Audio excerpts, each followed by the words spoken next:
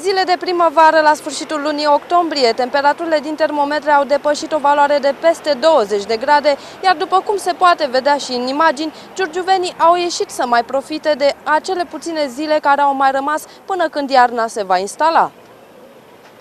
Vremea continuă să ne surprindă dacă săptămâna trecută ploile nu se opreau, iar vremea mohorâtă oferea senzația că iarna își va intra curând în drepturi. Se pare că în aceste zile temperaturile au continuat să crească, ajungând la valori de peste 20 de grade. Meteorologii prognozează și în următoarele două săptămâni temperaturi la fel de ridicate, de altfel un timp bun pentru plimbări în aer liber. Giurgiuvenii sunt conștienți totuși că zilele frumoase de toamnă nu or să mai stea prea mult timp pe la noi și se bucură de razele soarelui ieșind pur și simplu la o plimbare în oraș sau în parc. Vă place timpul de afară? Da, e plăcut. Te, cum te-ai gândit să profiți de aceste zile cu soare? Uh, să ies mai mult pe afară, să ne plimbăm cu bicicletele. Când rece, când cald, vă dați seama că temperatura corpului vă dați seama că nu... Când e rece, când e... Niște zile frumoase cu soare, v-ați gândit să profitați cumva de ele? Cum să nu? Cine n-ar profita de ele?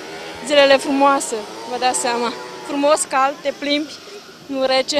Sunt foarte schimbătoare și dăunătoare, cred că în același timp.